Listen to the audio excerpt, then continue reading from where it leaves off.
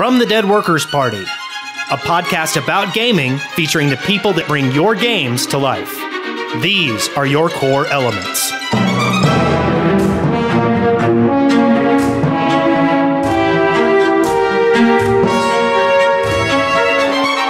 Core Elements, episode 46, recorded on July 9th, 2013.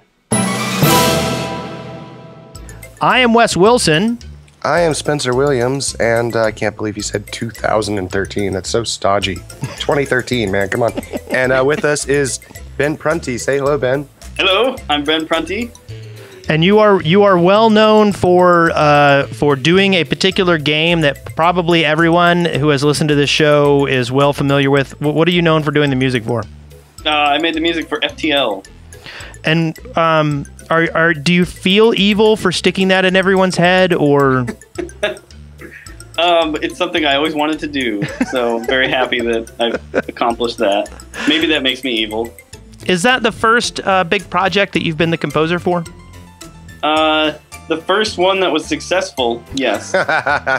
Wh- which Sorry, I don't mean to laugh like an evil maniac there.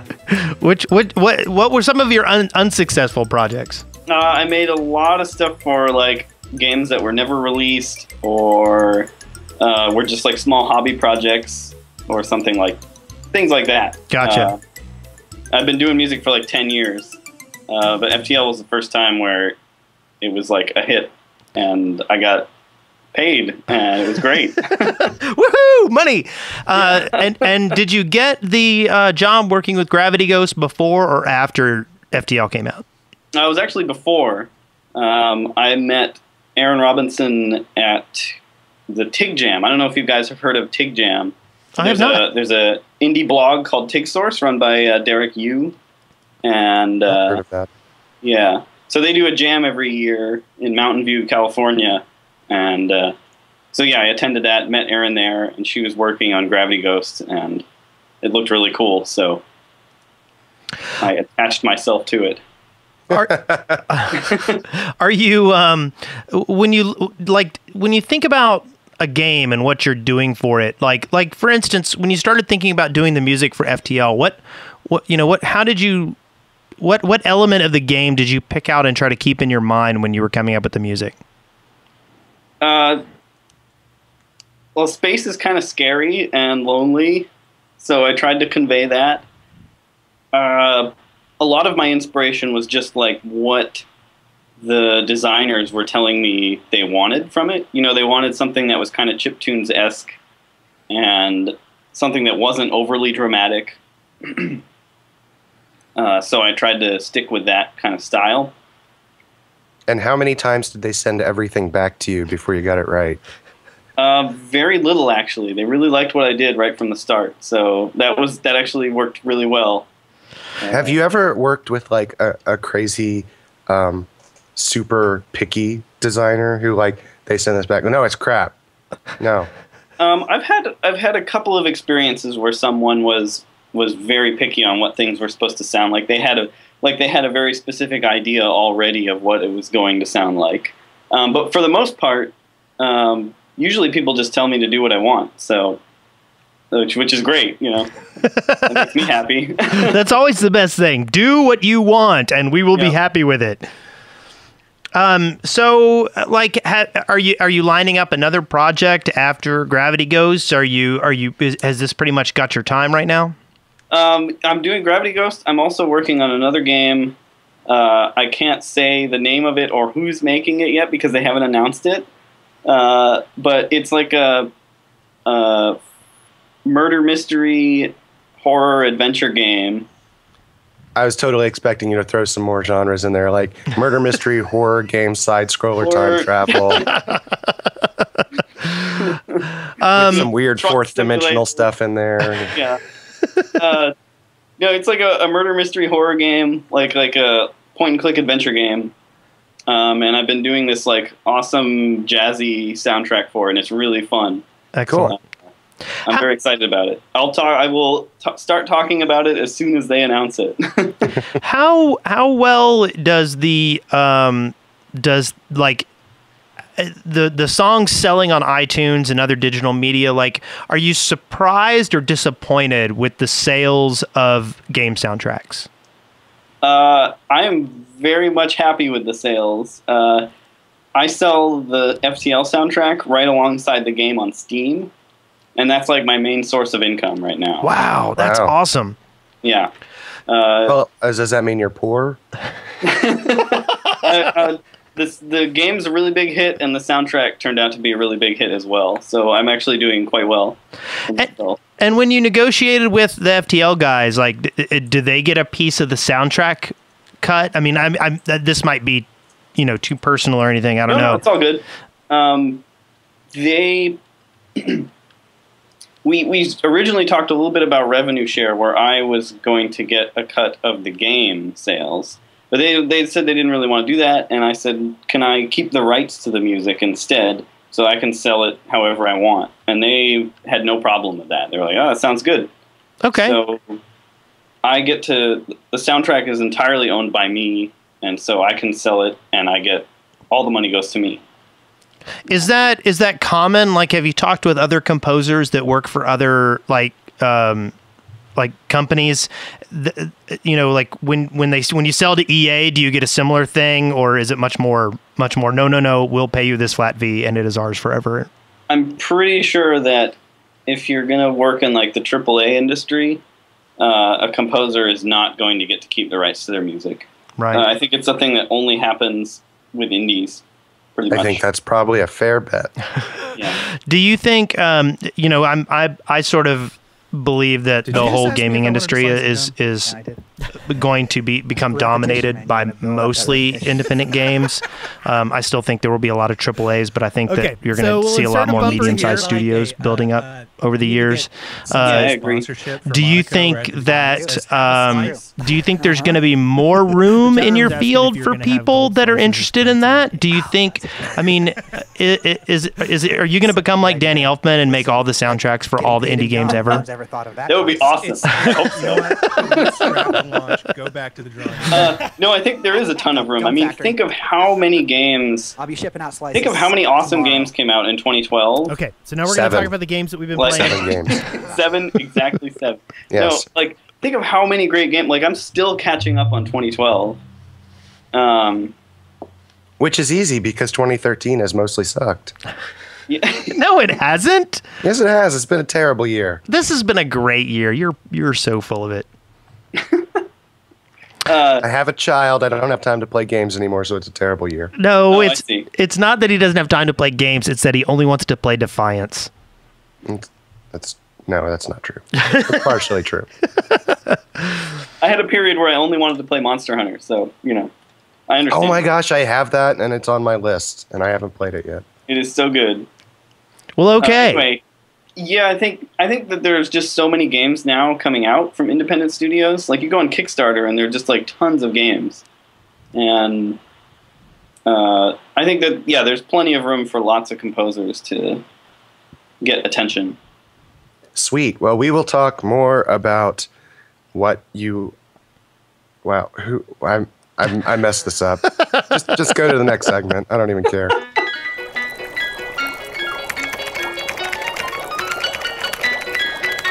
Lab notes.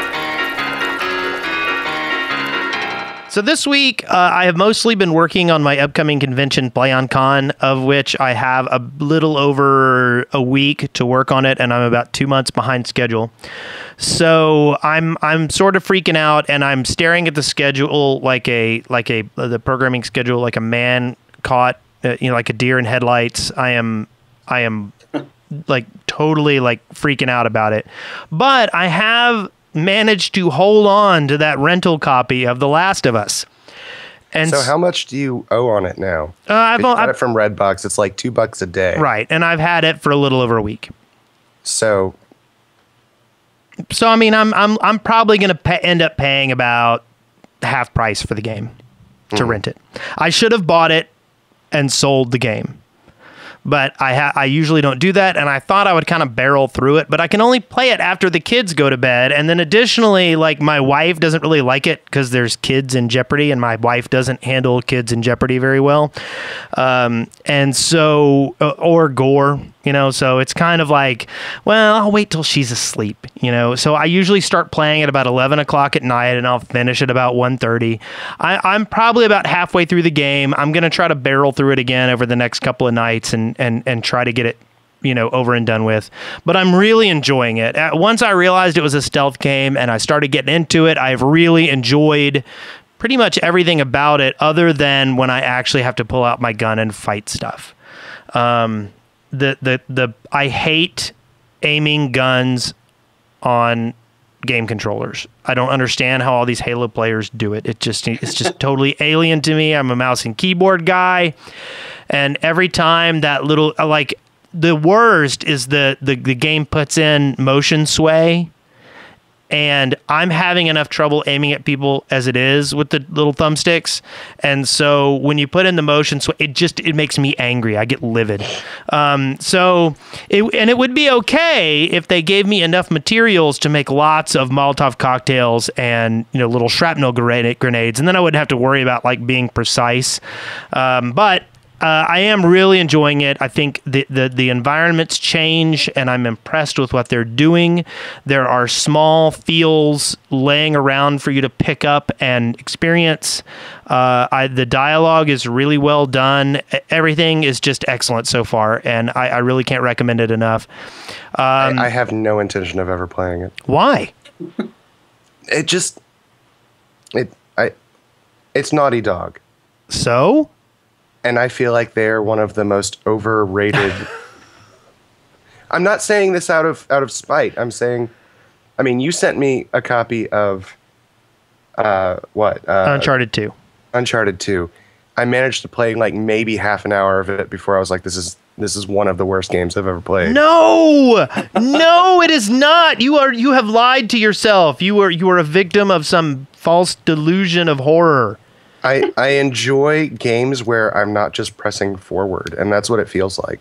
Oh no, And the platforming is so brainless and no, you you. Oh, that's so disappointing. I loved Uncharted Two. I got about a third of the way through Uncharted Three and kind of put it down. I haven't picked it back up yet again. I have um, I could get Uncharted three for free right now because I've got PlayStation Plus.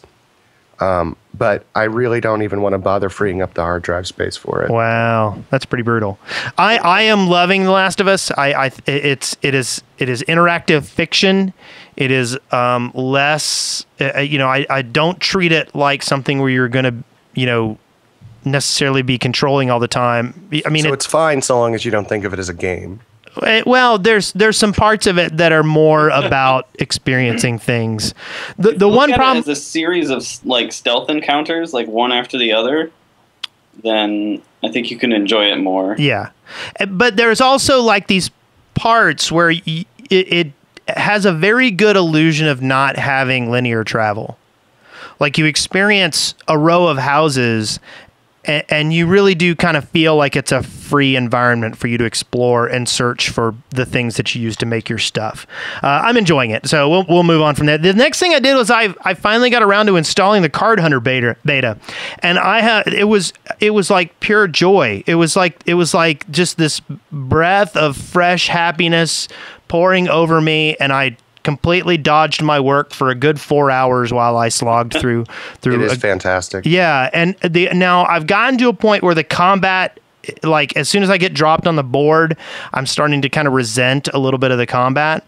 Um, but uh, but all in all, like everything about it feels fun and fresh, and I'm enjoying it. Um, there's some uh, there there might be some beta frustrations coming from how you get like for instance i'd like some boots with some more attacks you know what i mean like i'd like I, I, i'm i feel like my decks of my individual characters are a little heavy on certain things and i'm not sure the individual like slots where you get cards anyway nobody will understand what i'm talking about unless you played the beta but But it is in beta. Yes. That's the other thing.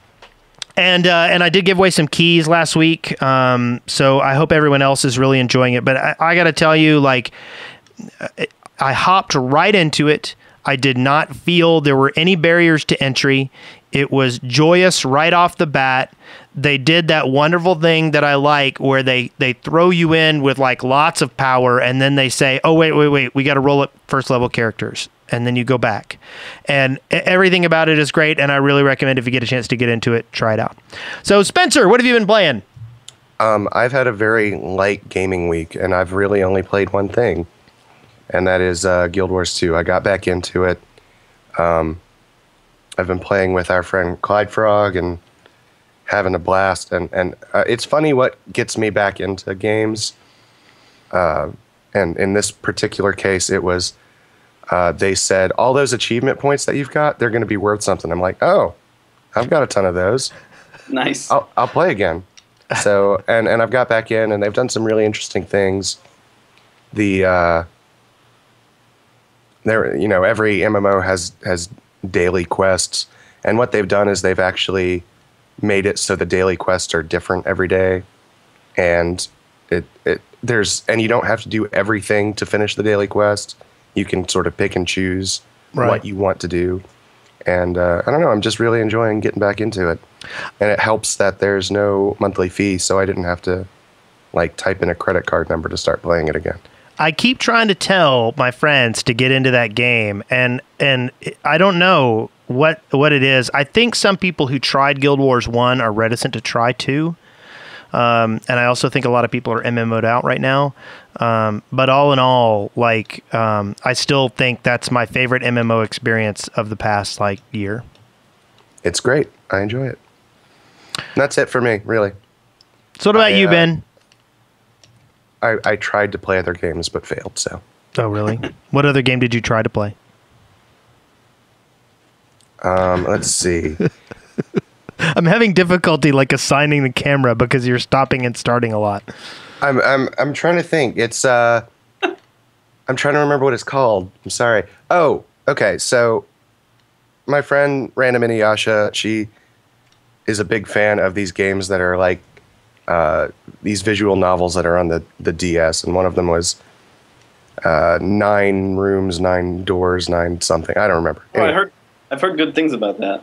So and and uh, the sequel is called Virtue's Last Reward, and that just that that became a free download for the the Vita with PlayStation Plus. So I'm like, oh, I I can play this now, except I haven't played the first one, so uh, I guess I'm not playing it yet. so I got out my DSL to play the first one, and I can't find the charge cord, so I played some Guild Wars 2 instead. Man, that is a fail. Like I'm actually thinking I'm gonna have to order a new charge cord. Wow, So sad. that is. So what about you, Ben? What have you been playing? I've Uh, been playing a lot of Last of Us also. Uh, I think I'm pretty close to the end. Do you agree more with Wes or more with me? I'm thinking I'm I'm going to agree more with Wes on this one. Uh, Okay, okay. as long as you go into it knowing it's going to be like this movie-like experience, it's uh, it's really fun, and it's it. I feel like it's more. It requires more brain power than uh, than the Uncharted games because the encounters are a lot hard. more. The encounters are a lot more thoughtful. Like you, it's more. It's a more tactical experience than most action games. Okay. Um, I, yeah, so I'm really enjoying that a lot. I, I'll agree. There, there are certain fights where the first thing you want to do is find out where the zombies on the board are, Yeah, and then try to begin to figure out how you're going to get through the room, killing them one by one. Yeah, it's less about the execution and more about planning everything. Because the execution part is pretty easy. Like it's pretty easy to like hit a zombie because like you're so it's sort of like auto targeted and everything. But the point is more about planning your method of attack. Right. Um, And guns It- are- are often a great hindrance. yeah, so that it makes it uh, kind of a different experience, which is really cool. Yeah. Uh, what else have I been playing? I played a lot of Rogue Legacy, uh, and that's pretty fun. I'm really looking forward to that game, and uh, we actually have uh, the guys from Rogue Legacy coming on the show next week from Cellar Door Games. Nice. So I'm kind of excited to, to hear from them. Although I doubt I will get time to play the game before I actually speak to them. So Spencer, you have to play more Rogue Legacy. Okay, that's fine. I can do that. You have to love the old Mega Man games. If you really enjoyed the old Mega Man, it's a lot like that. It, I, I get more of a Castlevania vibe off of it, and I was a huge Castlevania fan. So Yeah, I mean, yeah, the, definitely the castle exploration is a lot like uh, Castlevania, but I feel like the the incredibly twitchy, like dodging all sorts of crap coming at you at once. feels Yeah. a lot- feels very Mega Man esque. Um, eh, okay, whatever. I'm right, yeah, but it's really fun. Um, what what is it that you're like? Are you feeling a whole lot of the the influences from it? Like, I mean, how do you feel about like the whole random, the whole plus and negative thing? Like the traits. Yes. Um, you mean how do I feel like do I like it or Yes. not like it? Yes. Or- I I enjoy randomness. I love roguelikes, which is why I bought Rogue Legacy. Pretty much because it had Rogue in the title. it was like a guaranteed purchase for me. Yeah. Um, sounds about I- right. Yeah, I've, I've played NetHack for like you know like 15 years now, and you know I love Spelunky and see. I actually I always love it when games force you to take random stuff, and so I kind of enjoy that. Although I don't really understand why uh, they play up the legacy part of it because it's really just like you get to pick a random character each time. There's no real like inheriting traits from past generations or anything. Is there Yeah, not? that is a little weird. Um, it, it, it, it's not just that they play it up. It's like, you know, it's in the name of the game, Right. and and then it's just, it's not really. It doesn't do much. Yeah, it, it's really just picking a random character each time. do you think maybe that there's like trends of of traits that like this trait will lead will in general lead to this trait or or is it do you feel like it's complete you know roll d100 Oh, it's Dude. completely random. Yeah, there doesn't appear to be any pattern Okay. at all. well i'm looking forward to playing that uh, anything else you've been poking around with Uh, I played, been playing a little bit of Duel of Champions, which is really fun. Has anyone played that? i i have been playing it but i put it down for card hunter Oh, okay. Yeah, Same thing I here, checked actually. I actually was playing it on my iPad, and then uh, for about a week, uh, the iPad version was broken, and oh, right. Yeah, I heard about that. and then I, st- I I never picked it back up after that. that. Whoops. Uh, I, yeah, I, I think it's it's really fun. I'm enjoying it. Yeah, I, I had a really good time with it. I, I was getting frustrated though. I wasn't very interested in playing other people, and the campaign like has a pretty steep curve on it. Oh yeah, yeah. When- it forces you to play multiplayer occasionally, right? Well, it's not that. It's that unless I go and get some new cards, I'm not going to be able to beat the next section. Yeah. So, like, basically, what I'm doing is I keep playing it because I'm, like I said, I'm not very interested in, in playing other people. Uh, so I keep playing the same mission over and over again, hoping I'll get a lucky opening hand. Oh man, yeah.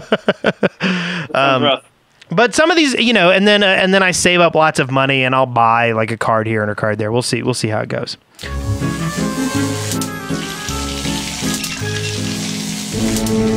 Eureka!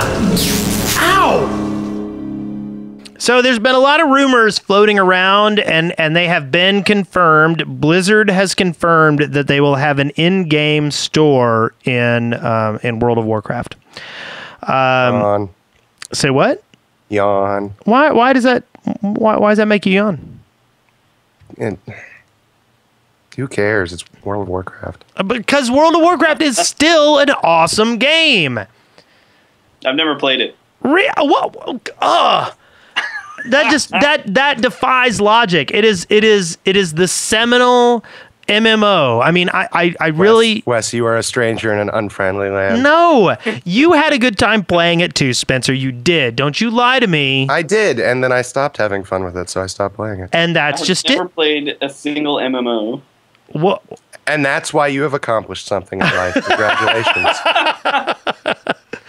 But I mean, I there you can you can say a lot of bad things about. Okay, well, it, it breaks down here, it breaks down there. But as far as like a game that you can set in front of people and have them play it, they will have fun. At a certain point in time, that joy might break down for one factor or another. But it's hard to say, you know, this is not a good game. Now, I'm not saying it's not a good game, but I'm trying to think of another game that was released in 2006 that I would still want to be talking about now. Well, And uh, there isn't. there are still 8.3 million subscribers and what and, and one of the things that this speculates on is that if they can get the in-game store up and running there is the possibility eventually wow might drop the subscription model would you play again spencer No.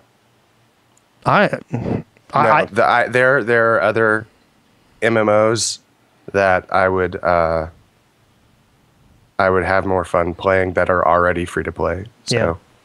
I, I still want to go through the Pandaria content. I am I am I am curious what they're going to do for the next expansion. I will probably play it. Uh, they they create a good MMO, and I have enjoyed it, even though sometimes I've put it down for longer. You know, I I can't say it's bad. Anyway, in-game store confirmed. Uh, one of the things they're going to be like some of the items they're going to be selling are things like, um, you know, like 24 hour wisdom potions, things like that. Stuff that like will help you for for give you a buff for a long period of time. Um, and I, I don't know. I, I hope that it it revitalizes things. I'd like for them to take away the subscription model. Um, but you know, who knows?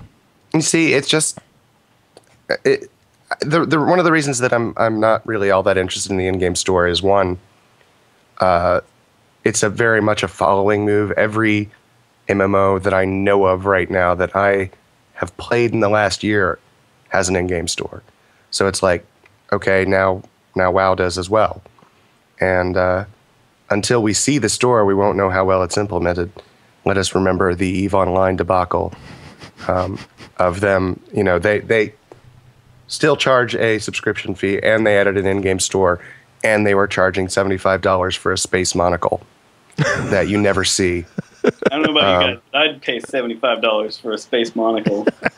It was, I mean, it was it was nasty, and the the feedback was terrible, and uh, they had a huge player revolt. That was that was last year. That was the the summer of of hate. Uh, but ah, yes, I remember the summer of hate. That- I, I'm, I'm, I, I didn't make that up. I think that's actually what it was called. but um, on uh, on top of that, it's just you know, if you are playing World of Warcraft, it is interesting that there is now an in-game store. If you are not, the fact that they are now willing to take your money in another way is not going to make you want to play the game again. So and and that's why I think it. Like I said, it hinges on whether they're going to be able to do the the uh, the. Uh, even if they could just pull down the monthly subscription a little bit, I think a lot of people would, would they, they could keep a lot of subscribers that way. I know some people are like, "This is the death of WoW," and I'm like, "No, it's no, not." those people are dumb. um, but there are people that have been claiming that something is going to be the death of WoW for the last five years. So yes, yes. Guild Wars One was supposed to be the WoW killer. Do you remember that? Uh, Guild Wars 1 was not a WoW killer. No, but it was supposed to be. I played a lot of it. I did not. Uh, so uh, this next article that I wanted to talk a little bit about, um, and um, I've got the wrong link here. oh no, that's it. That's it. Sorry, I'm being stupid. Live radio. Uh, so sorry, my brain. Uh, so this is a uh, this was an article on uh, Pixel Enemy, and basically what it was talking about was how uh, hackers are to blame for some of video game companies' woes. Um, I thought this was kind of interesting, but phishing and hacking um, have picked up to such a degree that uh, they, uh, for instance, the the attack on Sony that happened a couple of years ago that brought down PlayStation Network, they estimate that cost the company twenty million dollars. And Who estimates? uh, I the article I don't know. but I mean, you know, they gave away, they had to give away a lot of games and stuff. Anyway, long story short, Well, I speaking about that in particular, just real quick.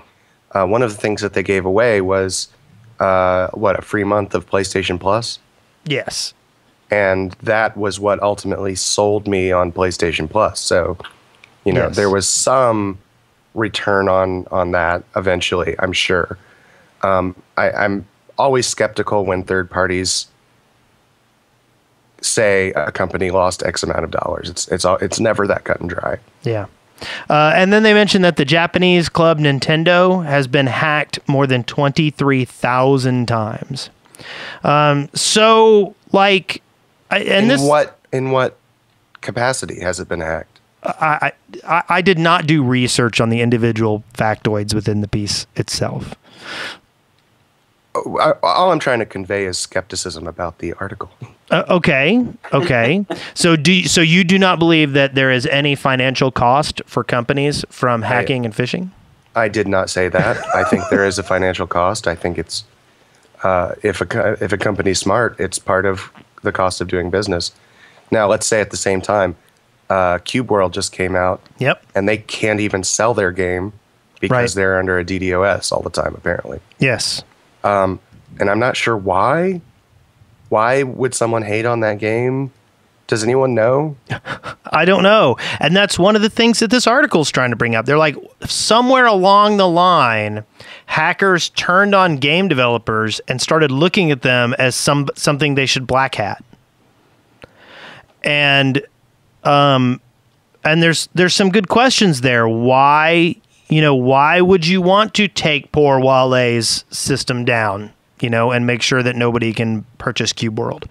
Why would you want to do these things? and it's kind of confusing why people would want to like punish the people who bring them joy. because they're angry teenagers. I You think so? You think it's just that's all there is to it? No, probably there's probably a lot more to it than that. But I mean, do you think I mean, do you think this is kind of an anonymous thing? Do you think they just sort of like the the, the tides of of anonymous activity turn their their skeptical eye on something and then, you know, hordes of little script kiddies start pouring their stuff at the company? I mean, I it it I don't understand why you would want to attack something like that at all. It makes no sense. right, I don't get it. And if they had like a statement they were trying to make, don't you think they would like be public about it and Yeah. say something? Yeah. That's what makes me think it's just angry teenagers. It would be more of a more of a terrorist active kind of thing. Yeah. but I mean, but I mean, like you know, and and somebody in the chat room said they do it for the lulls. Okay, there's a difference between like lulls, which inconveniences other people, and lulls, which inconveniences you and your friends. And it seems to me that like making Cube World so that your friends can't buy it is a bad plan if it's a good game. Right. No, it doesn't make any sense. There's no logic to it Yeah. at all. So I'm Maybe uh, the hacker is Honey Badger, and and Honey Badger don't care. Apparently, it, it very well could be Oh that. man, it makes so much sense now. Well, I will provide a link to the show in the show notes to uh, that particular story. Um, the next one I'm going to bring up, and and Spencer was picking on me that my news this week was this was kind of weak, but um, it, was, it was not your fault. It's just a week news week. yes, so. A weak, news week. news week. So this was uh, basically an article uh, from The Verge Gaming, and uh, basically the Wii U's flagship title was not profitable. Zombie U, which was like the first game that came out that actually used the hardware in a manner that like showed that the Wii U was, you know, that the that there was a use for the way they designed the Wii U. Um, it, it was not profitable. Um, now, when I look at the numbers, you know, Wii U's are they're still selling. People are buying them. the Wii U's or the the, Um, the- Zombie U. The Wii U's, um, and I think that Zombie U was you know a decent opening title for it. Uh, I did I, like the only I only have game. a Wii U and I didn't get it. It didn't seem worth it to me. really, it got so much good press beforehand as being a, a really good use of the hardware and being a fun game. you know, if I'm just over, I I I don't want anything to do with zombies. I, no, I'm Oh, not, no, I'm no. not saying that to be like like you know, uh, contrary. I'm serious. It's like if I see something with zombies in it, I'm just like, well, I know what this is going to be. Well, don't There's play gonna Last be- of Us then. Those are those are mushroom zombies. That's different. Well, um, anyway, so that's just a, kind of an interesting factoid. Here, here's an article uh, that I'll that I'll share with you. I, I really think that they needed to come out with a good, strong um, Mario title that used the hardware right. Um, I don't know why they went the direction that they did, but uh, here's hoping that uh, I, I and I mean I I will probably end up getting a Wii U just because my kids as I don't necessarily want my kids doing all their gaming on the PlayStation. Um, I want them to have some other system that they're that they're doing their gaming on, and I think the Wii might be a, a good option. Uh, and so I'm I'm just curious. What's your rationale about it not not being all the all on the PlayStation? Well, number one is uh, I feel like uh, the Nintendo hardware is designed to work with kids a little bit better. Um, now, my kids are playing Disney Disney Disney Universe and Skylanders on the PlayStation, and they're enjoying it. But for some reason, I think it's because we use the PlayStation for like our Netflix machine and our Blu-ray player and that kind of stuff. I, I think I want them to play more on another device that's not my main media providing machine. Just want to push them away. Yes, I'm like, go, go, go, mess with that one. Go here. If you break the Wii, I won't get mad. You know, well, I mean, I will, but um, you know, wait for a game to come out on the on the Wii before you get one. yeah, I will. Uh, so, and then the last thing, and I thought this was kind of interesting. Microsoft, uh, there there is a story going out that Microsoft was actually trying to acquire Zynga before the Xbox head uh, Don uh, Mattrick Mattrick uh, decided to move to Zynga. Uh, so I'll just link to that article. It's kind of interesting. Um, it's just allegedly, but still, it adds another vector onto the things we were talking about last week. Wouldn't it be embarrassing if he left, joined Zynga, and then got bought by Microsoft? Isn't, didn't there happen to a guy at, at, at Ubisoft? Probably. Yeah, It like the guy. I don't remember his name. The guy that uh, originally created Assassin's Creed. He left the company, and he was working on something with uh, uh, what's the company that went bust just recently? The Oh. big publisher. Uh, yeah, uh, THX, THQ. THQ, yeah. THQ, yeah. He was working on something for THQ. In the THQ fallout, Ubisoft bought that company that he was working with and then fired him. Oh, oh. Brutal. So, if you're a regular listener to the show, you know these things, but I want to go over them for all our new listeners. First off, uh, if you are interested, you can get a free Netflix trial. Go to netflix.com slash deadworkersparty. You can get 30 free days, and you will help support the show a little bit. Um, if you go there, sign up for 30 days, they got all kinds of great stuff. I'm still watching Black Books. That's my going to sleep show lately, and it's and I've been so exhausted because of the baby that like I, I last about like five minutes, so a good show will last me all week long. Um, but yeah, go and check that out, and and go to netflix.com slash Dead Workers Party. Get a free 30 day subscription to Netflix instant streaming. Additionally, you can go to audible.com slash core elements and get a free audiobook to try out. Uh, additionally, after that, you'll have a 30 day free trial, which you can then purchase ga- purchase more books, pardon me. And uh, if you decide to subscribe, it's only like $14.95 a month, and you get a free audiobook each month plus 30% off all additional purchases. Uh, it's really actually a pretty good deal. And lastly, if you go to lootcrate.com slash deadworkersparty and use the coupon code DEAD, you can get a $3 off your Loot Crate order, which gets you all kinds of cool, geeky swag sent to your door that you can fill your um, your cubicle up with. And all these are available in the show notes. If you go to deadworkers.com, uh, you can see the show notes listed under the Core Elements podcast heading. Inspiration. So, Ben, So, how do you uh, how, how do you do your music like like uh, what how do you how do you actually like produce your music are, are you like a keyboard guy are you working you know on the are you working on your on your computer H- h- what's your focus there I know Uh, he does not do it on the uh, ukulele. that's true. I do not use the ukulele. I have a monster of a PC and a piano and a keyboard and a ton of software. Are you doing? Um, are, are I mean, like, what's the what's the current musical standard? Are you are you? Is it still MIDI? Are you doing all this with MIDI stuff, or what? You know, what are you doing? I'm using a digital audio workstation called Cubase. Uh, Oh, yeah. There, there are some things that are like MIDI involved, but mm, uh, MIDI itself not used so much anymore. I think Yeah. like a lot of uh, MIDI sort of in the background now. It's kind of hard to explain, and even I don't really know all of it very well.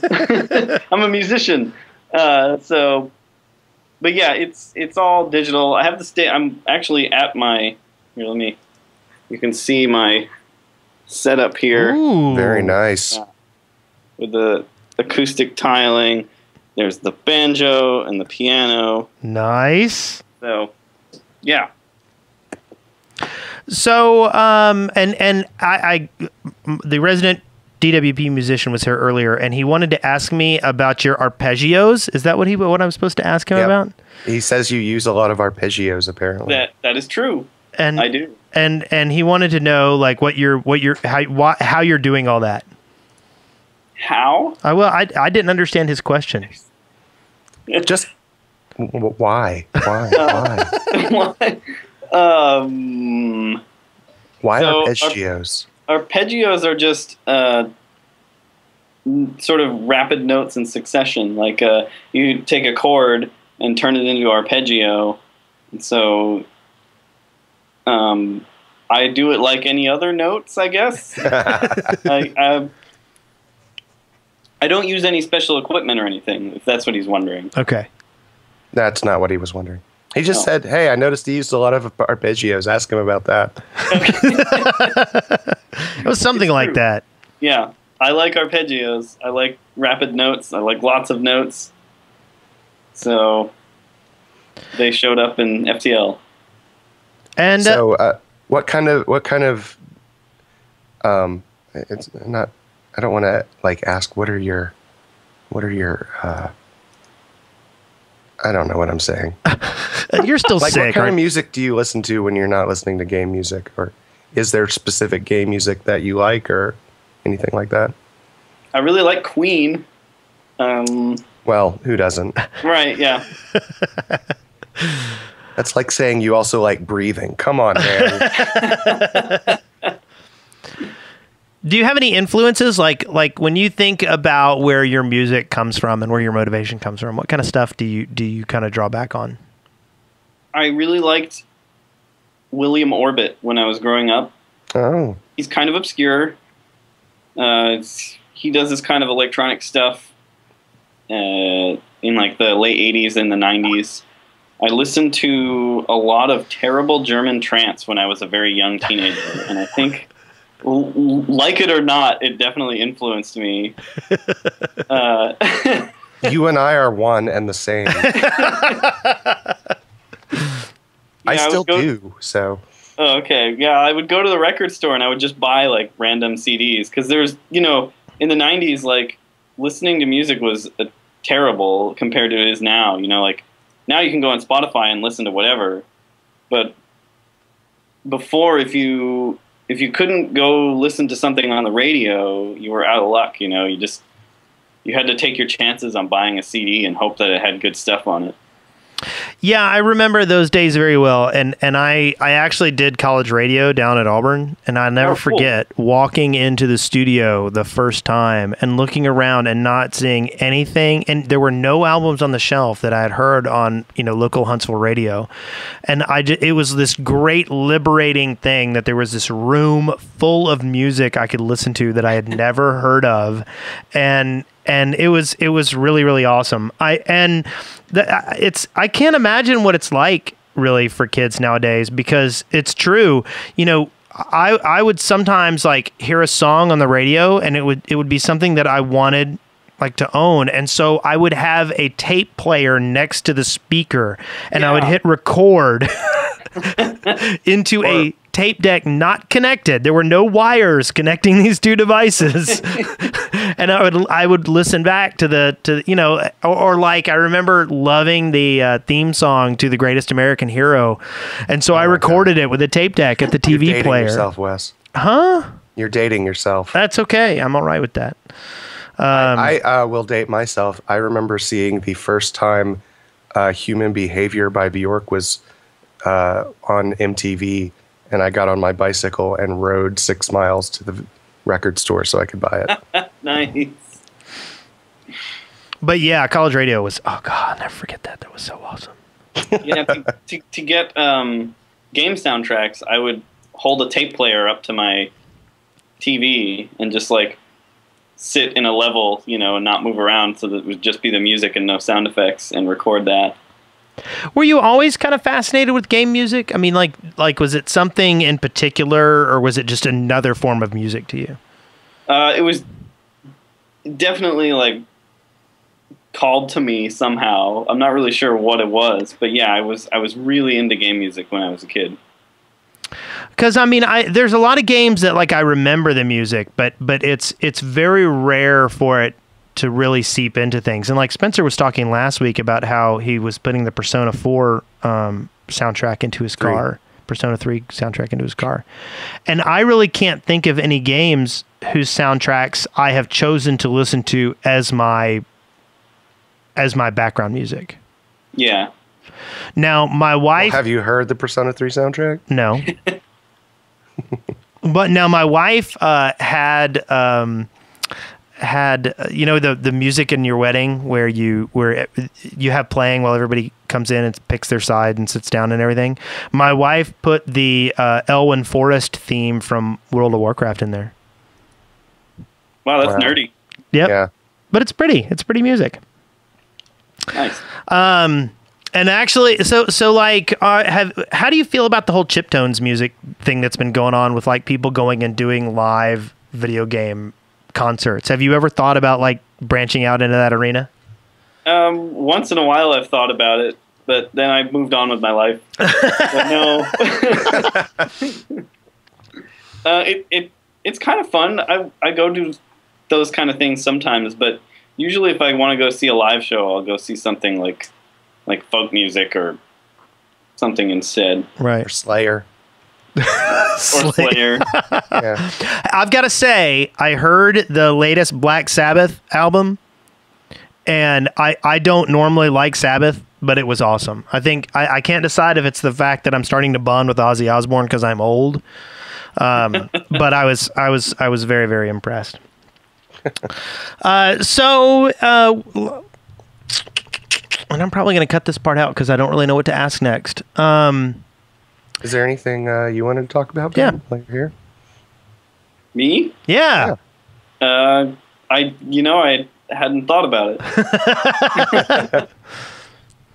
Well, um, what uh, like are are there are there any directions you want to go with your music? Like, is there a particular gaming style you're interested? Like, when you imagine like writing music for games, do you is there is there something in your head about where you want to go or what you want to do with that?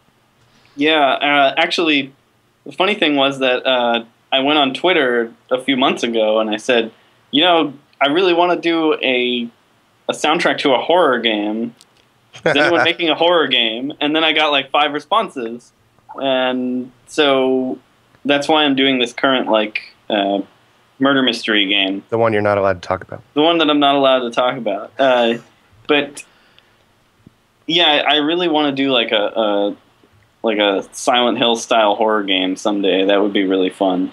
And that's actually one of the environments where I think m- music affects you the most. Like, I, I think horror is one of those genres that, like, more than anything else, other than like epic battle music, I think epic battle music and horror music are the ones that can actually directly influence your mood the most when you're playing yeah, the game. I agree. Well, let's move on to some uh, questions from our listeners. Um, one, um, uh, the first one is from Ben Anderson, and he wrote, and this is actually what what got me to reach out to you when I saw you on Twitter. Uh, I really enjoy music and games and consider it to be a major part of enjoyment for me. However, I've met other people who immediately turn off the game music. Where do you stand on that? Um, I I I actually do not turn off game music. Um, I, I know that like I'll watch a lot of streams of like MOBAs and things like that, and people will put on their own music. Uh, it feels weird to me. I- I also think that because I feel like the music kind of helps shape the mood of what you're doing. Uh, I, I there's very few times now. It if I'm playing something like Minecraft, some time I'll turn it off to like record, or if I'm playing WoW and doing dailies or something like that, and I want to watch Netflix while I'm doing it, you know, I'll turn off the music then. But other than that, no. Always the sign of a really engaging game when you have to watch Netflix. Or, it's not that. It's that there are things that you want to do, I'm just, but I'm, I'm, I'm just pushing your buttons. I Wes. know. Stop it. God. What about you, Spencer? Do you ever turn off the music? I um, am actually pretty similar to you. Like, uh, I very rarely turn off the game music. Like, and uh, even even when it's, for example, an MMO like like WoW, that I've heard literally the same song eight billion times within the last two months. Uh, it just sort of becomes part of the game for me, and, and I, I very rarely think to turn it off. Ben, are you a traitor to your kind? Uh, I have to admit that while I keep the sound effects on, I whenever I play Half Life Two, I always turn the music off. Really? Yeah, because I think it's actually a better experience without music. I think the game uh, should not have had music. Is it because of the ambient noise? I mean, I mean, is that what it is? What, what, what is there something else in the audio that you're trying that you want to pick up on, or is it that you feel it's a much more natural experience with no soundtrack? I think that last part you said. I think that Half Life 2 is intensely first person. Like, more. It's even more first person than most first person games. Where, like, It you is play Call of- exceptionally first person It's exceptionally first person. Yeah, it's like you play Call of Duty and it's first person, but it still feels like you're in like an action movie, right? Yeah. Um, Half Life goes to great lengths to make it feel like you're in you you are Gordon Freeman. You're actually there, and I feel like music takes away from that. Right.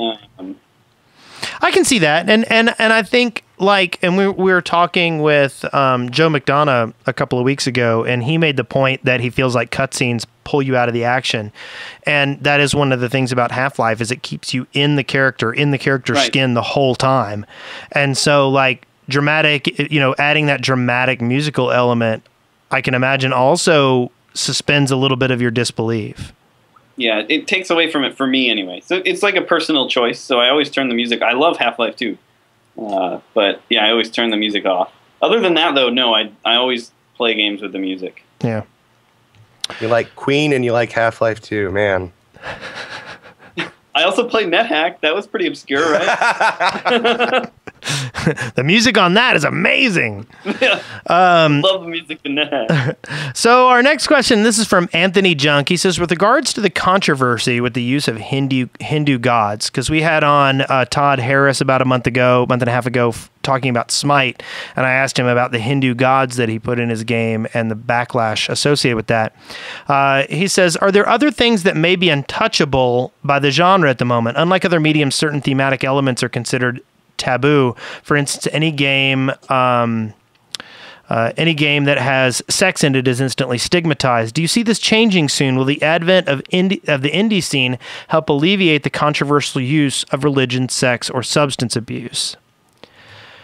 You know, most of the games from the indie scene that have taken off to any uh, great degree have been fairly politically light.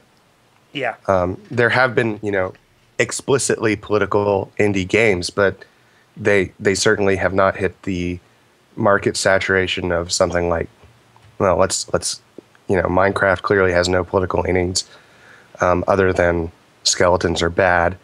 Um, uh, let's even say FTL. FTL, what does it say? You know, apparently rebels have more spaceships than, than the rest of the galaxy. yeah. I've never understood that. Um, but you know, there have been uh, there have been political games like uh, what was it? Uh, I'm trying to think. There's the the, the cat and the some. I don't remember.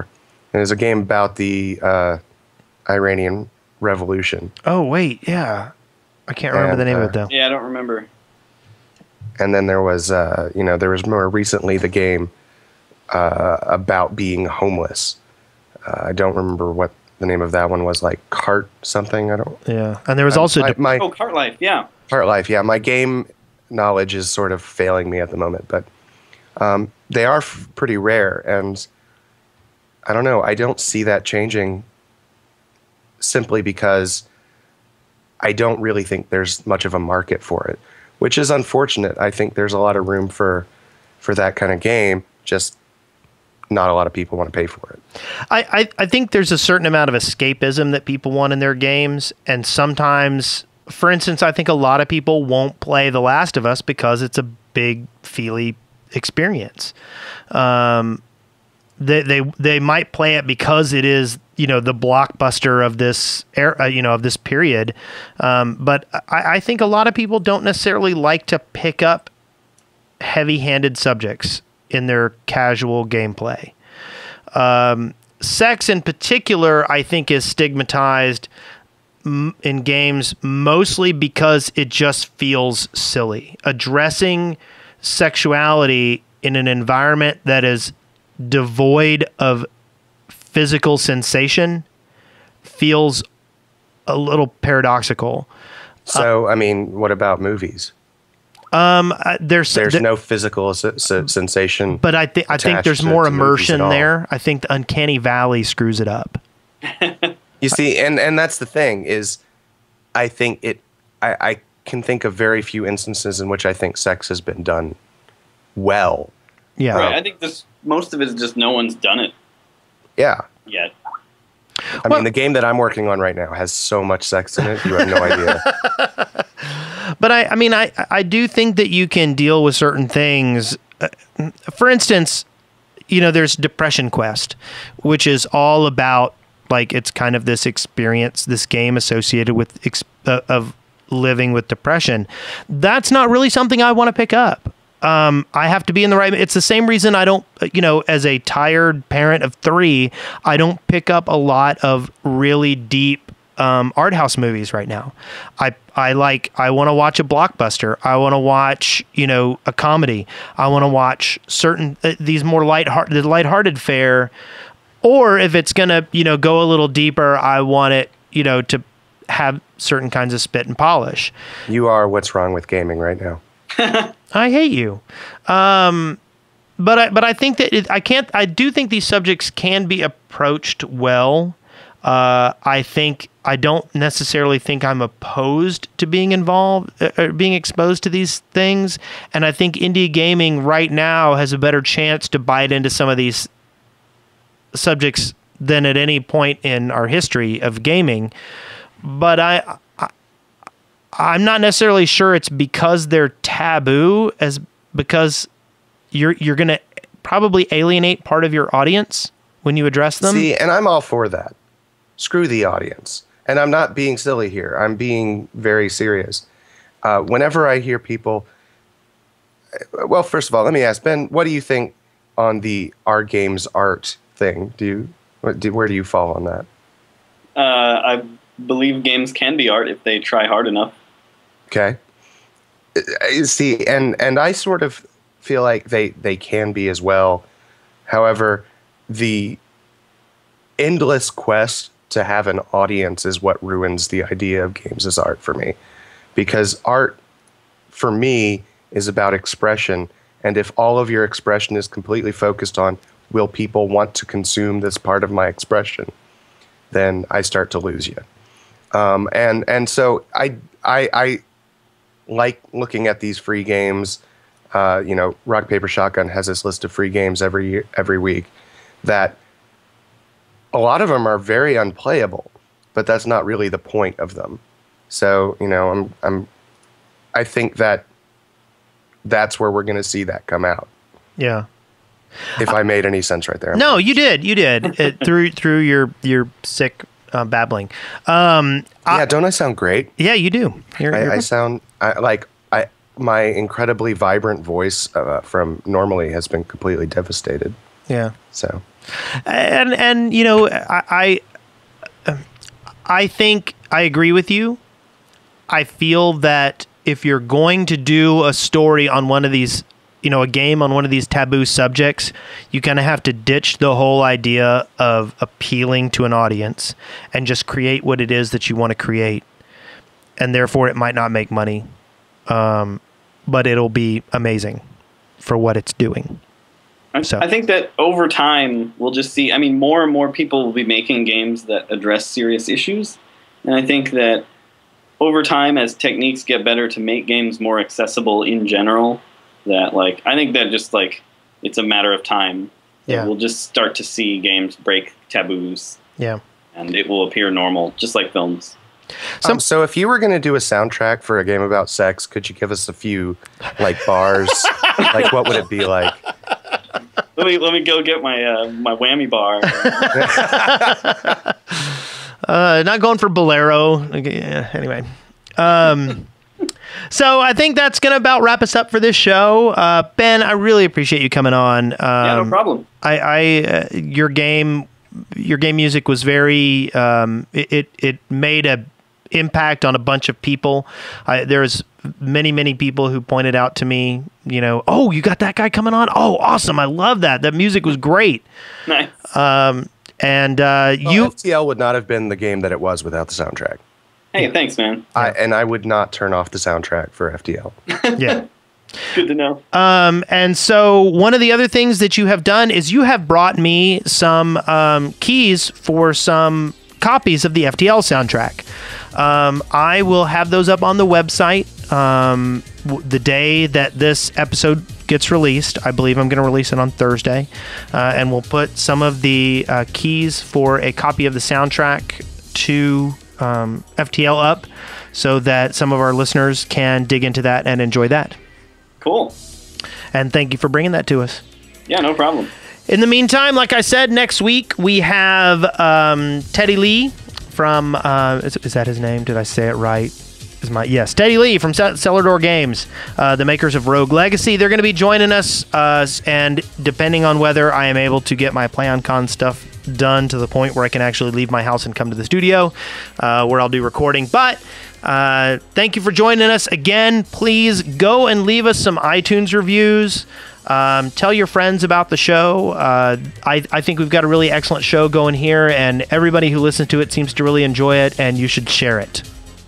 And uh, when it comes out, be sure to check out unnamed point and click his mystery horror game. I will mention it on Twitter. Anyway, have a great week. Take care. Thanks.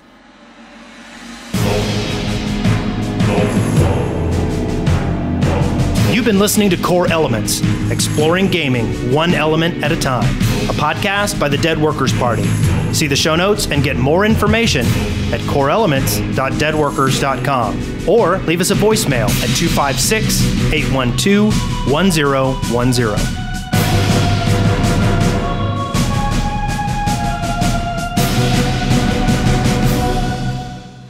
Dead Workers Party Network. Tastes better than babies.